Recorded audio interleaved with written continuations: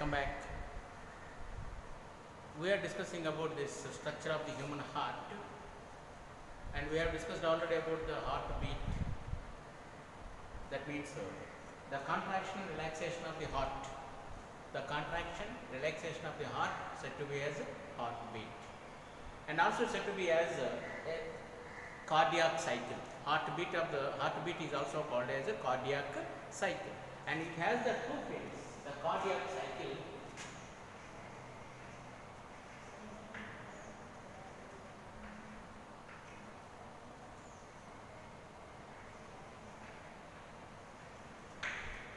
cardiac cycle has the two phases. One is the systole, another one is diastole. One is systole, another one is diastole. The systolic movement, the contraction of the or- heart, the contraction of the muscles of the heart is called as systolic movement. The relaxation of the heart is called as uh, diastolic movements. One systolic movement, one diastolic movement makes the heart beat. As I told you that a normal person is having the uh, heartbeat for it is uh, heart beats for 72 times per minute. But in the that uh, newly born baby or uh, in the children as well as the aged people, the heart beat will be increases. The number of beats will be increases. So why? Because they need the more oxygen for the metabolic activities. And also this heart beat, if the size of the body of the organism is smaller, the rate of heartbeat will be increases. This is because of that means that if the uh, size of the body, uh, this organism's body is very much smaller, the heartbeat will be increases. If the size of the body of the organism is uh, huge, means large size, then heartbeat will be reduced, decreases. This is uh, only the reason for that is only that in the smaller organisms, the heat of the body will be diffuses from the body very quickly so that the heartbeat increases so that the, the heart can uh, produce or can supply the blood to the heart and evenly distribute the temperature of the body to all the body parts. So that if the smaller, the size of the body of the organism is smaller, the rate of heartbeat will be increases. Okay. And uh, one systolic movement, one diastolic movement. One systolic movement means the contraction of the heart is called as systole and uh, relaxation of the heart is called as diastole. One systolic movement, uh, systolic movement, the contraction of the heart that is uh, 100 to 140 in between the 100 to 140 and the diastolic movement is uh, 80 sorry 70 to 90 this is so the normal these two one systolic movement one diastolic movement is said to be cardiac cycle or heartbeat this heartbeat makes the blood pressure bp blood pressure so normal human body blood pressure is the normal human body blood pressure is 120 by 80 Hz. 120 by 80 Hz. Here 120 is indicating the systolic movement of the heart, that means contraction of the heart muscles, and the 80 is uh, indicating the, the relaxation of the heart muscle, that means diastolic movement of the heart muscles. Suppose if it is a 120 by 80, it is a normal BP. If it is like uh, 140 by 80, if the systolic movement is increased, the systolic movement of the heart is increased, then it is said to be as uh, high BP. High BP. High blood pressure. If the if the BP is like this,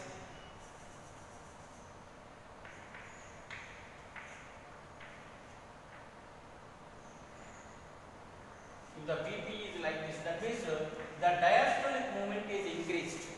The diastolic movement is increased, then the, the BP is called as uh, low BP. Both the conditions are very much dangerous. High BP as well as the low BP. Usually by taking our food, the difference in the food material, that means if the person is taking the more uh, spicy food material, highly food material or cholesterol rich material, then automatically the BP will be increases. It will become high BP.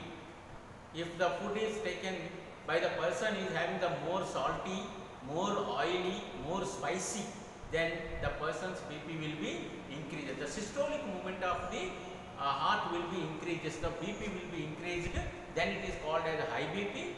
And if the person is taking the less salt in the food material, then the BP will be reduced. That is called low BP. But the BP can be BP, the blood pressure can be measured by using the instrument called as sphygmomanometer.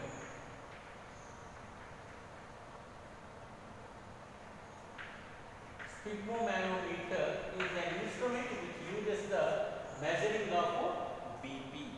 Sphygmomanometer uh, usually you might see with the doctors, uh, they will be uh, tying the here at the arm and they will be pressing the one air bubble, then the mercury level will be increases there. That is called as a sphygmomanometer. By using that, the heartbeat or the BP of the person can be uh, measured.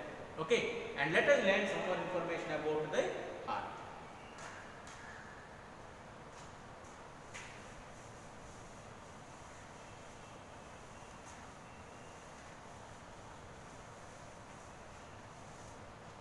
As I told you that the heart is for circulating the blood, circulating, supply the blood.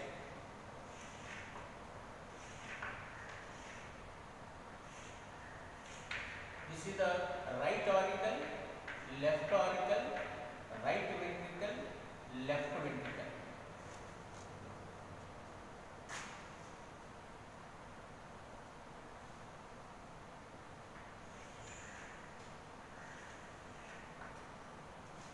Okay, right auricle, left auricle, right ventricle, left ventricle.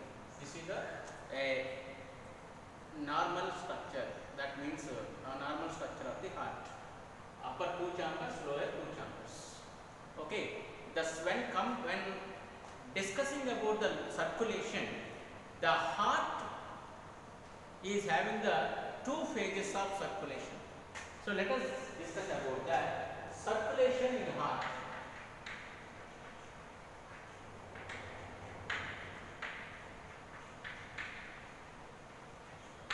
There are two circulations. One is pulmonary circulation.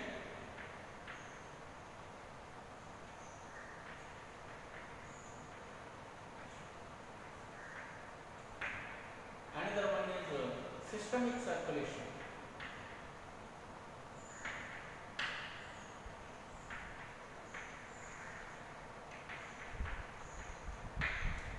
Pulmonary circulation, it is usually you know that already we have discussed it that superior vena cava and inferior vena cava will bring the blood to the right auricle.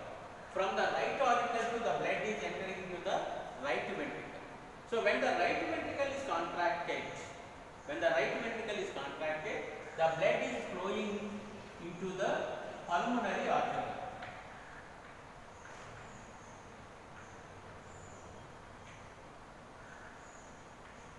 the deoxygenated blood flowing into the pulmonary artery and this pulmonary artery will carry the blood to the lungs.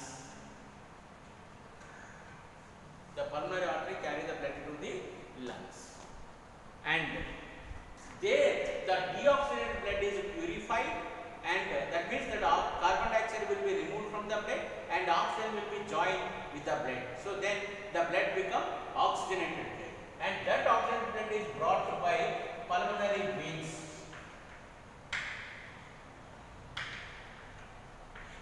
Pulmonary veins. And when the left auricle is contracted, it is entering into the left ventricle. When the left ventricle is contracted, the blood is flowing through the aorta.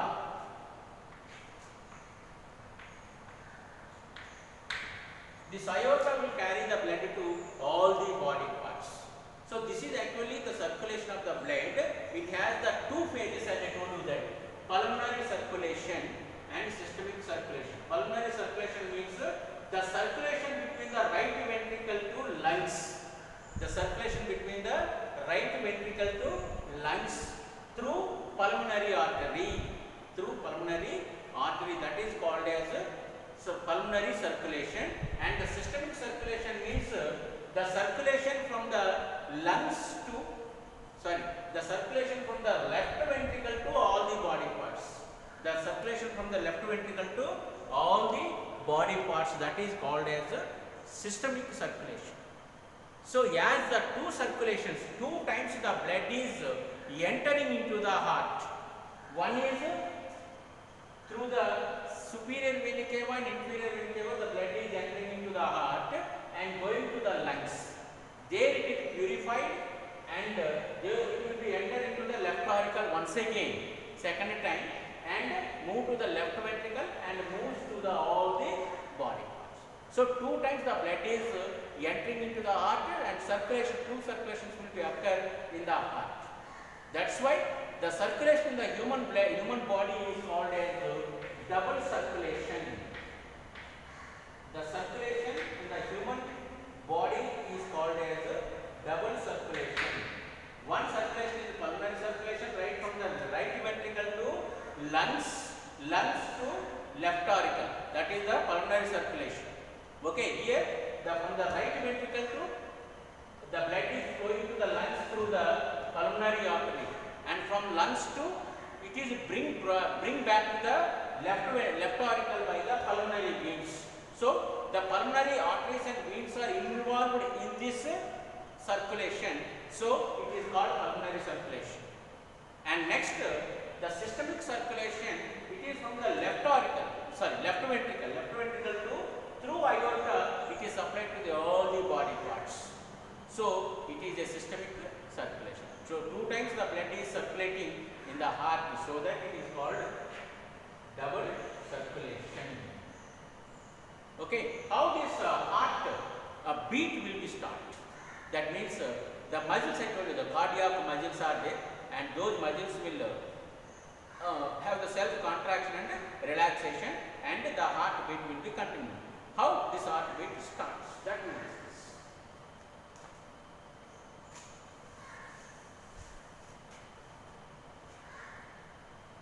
So you might be seeing here, this is the right auricle. This is the right auricle. At the corner of the right auricle, there is a space, there is a point which is a shaded there. This is called as uh, SAN.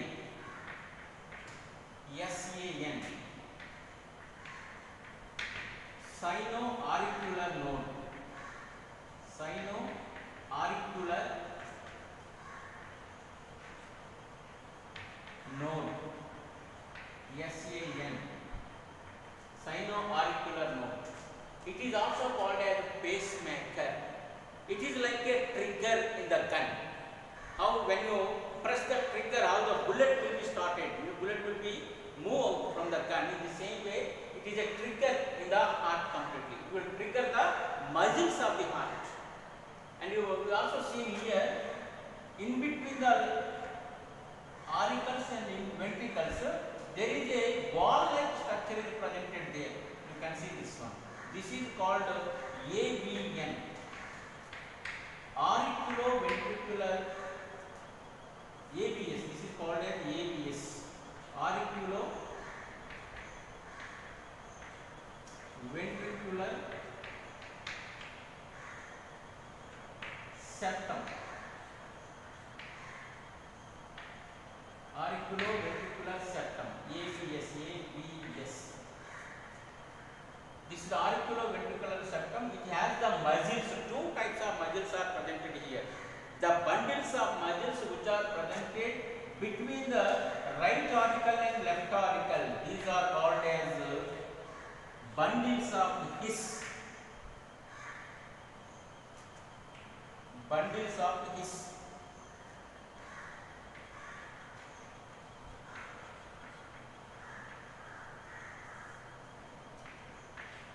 bundles of his the muscles fibers which are presented the right auricle and left auricle. This is in the ABS is called as the bundles of His.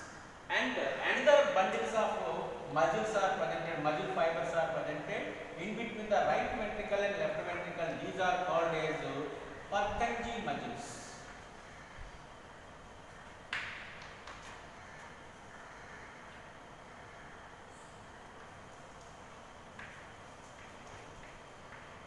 These are called muscles, which are presented in the in between the right ventricle and left ventricle of the AVS.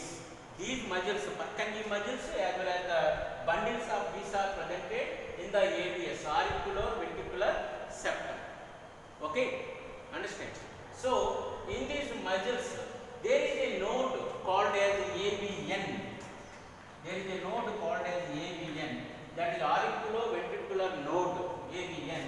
And the trigger that is SAN will give the triggering of the AVN of the auriculoventricular septum that is at the bundles of his and they started contraction and relaxation and it is supplied to the Purkinje muscles which are presented in the uh, in between the left right ventricle and left ventricle and they started uh, contraction and relaxation so that the auricles will be contracted and ventricles will be relaxed. When the ventricles are contracted, auricles will be relaxed.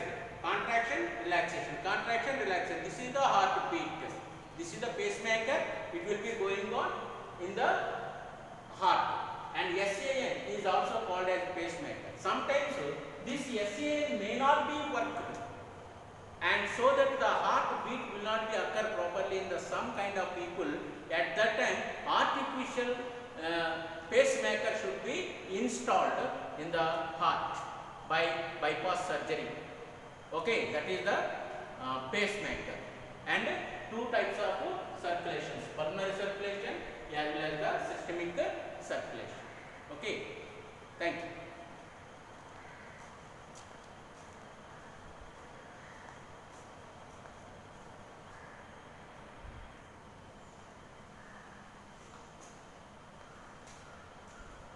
Hi. A heartbeat can be felt at the wrist of the hand, behind the wrist of the hand, at the side of the neck also you can find it. When you press the the veins of this uh, wrist, you might be finding the beating of blood vessel that is called as uh, pulse. Pulse is nothing but uh, the fluctuations of the heart muscles.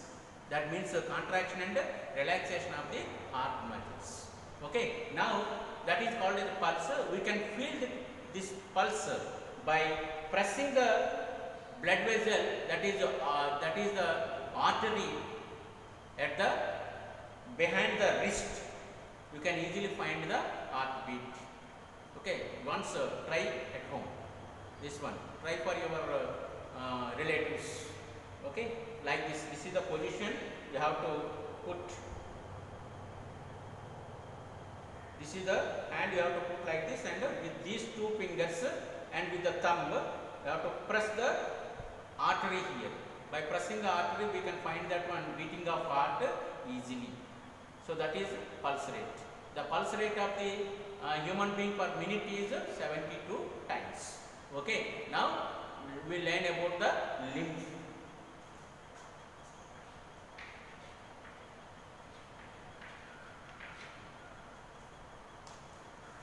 After the learning about the blood, blood is a fluid connective tissue, already we have learned that one.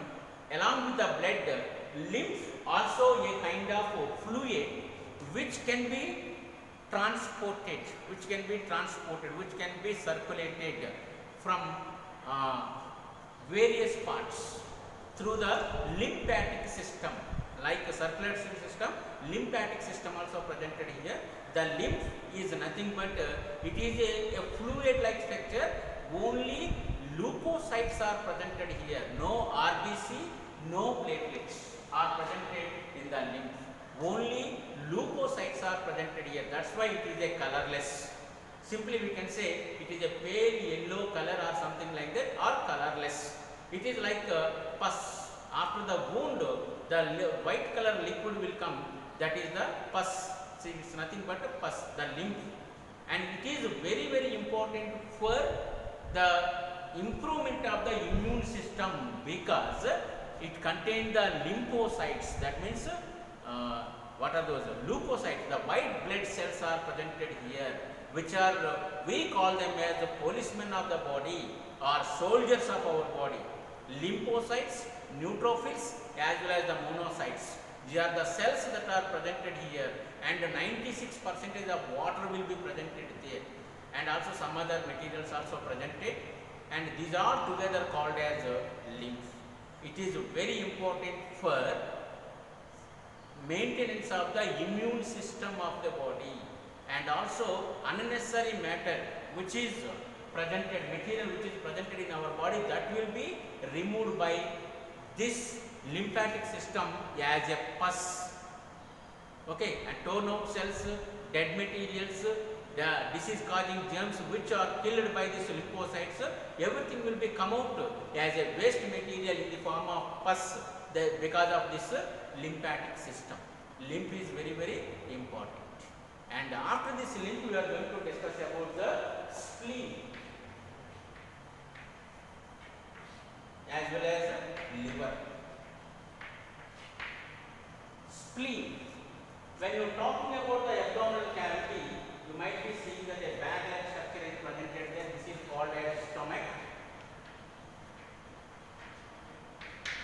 Behind the stomach, there is a dark brown color or purple color uh, structure, uh, gland will be projected there. This is called as spleen. It is also called as a blood reservoir. Whenever the blood is needed by the body, at the time of uh, this uh, carbon monoxide poisoning or any other conditions, any toxins are produced and at that time the blood is produced by this spleen and it's also called as a burial ground because red blood cells, white blood cells, platelets will be buried in this.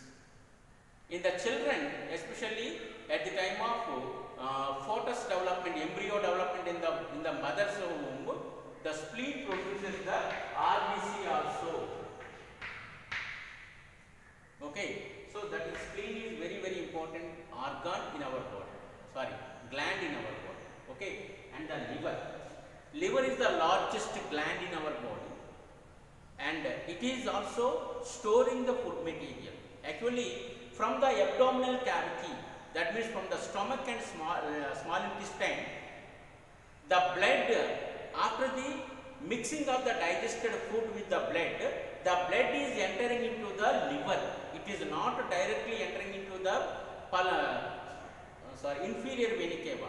First it is entering into the liver by a blood vessel called as uh, hepatic portal vein.